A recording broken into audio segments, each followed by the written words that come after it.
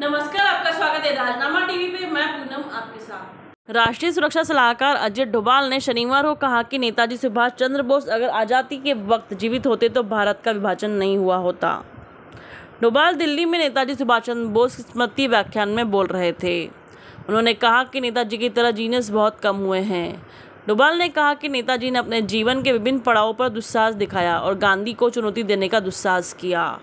डोभाल ने कहा, लेकिन गांधी अपने राजनीतिक जीवन के शीर्ष पर थे, फिर उन्होंने इस्तीफा दे दिया और जब वो कांग्रेस से बाहर आए तो उन्होंने नए सिरे से अपना संघर्ष शुरू किया। केवल वही थे जिनमें महात्मा गांधी को चुनौती देने का दुस्साहस था।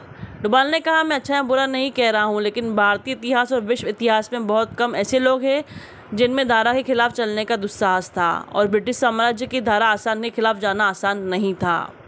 उनके दिमाग में विचार आया कि मैं अंग्रेज़ों से लड़ूँगा, मैं आज़ादी की भीख नहीं मांगूँगा, यह मेरा अधिकार है और मुझे इसे प्राप्त करना होगा। उन्होंने कहा कि नेताजी इसमें अकेले थे, जापान के अलावा किसी देश ने उनका समर्थन नहीं किया था।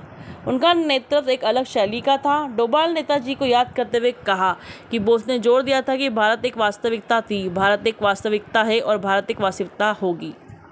इसी के साथ बने रहे राजनामा टीवी के साथ, धन्यवाद।